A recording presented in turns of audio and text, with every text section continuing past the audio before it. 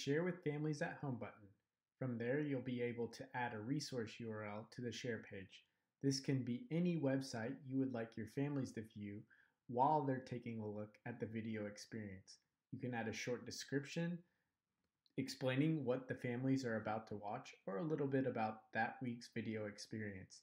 You can also add a URL that links to your online giving platform. This will create a give button on the share page.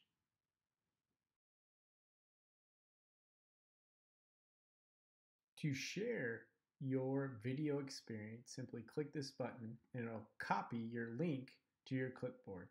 You can also preview the page that will go out for the video experience to all your families by hitting the preview button. It will then open the preview of the page where you can grab the URL to send it out to families.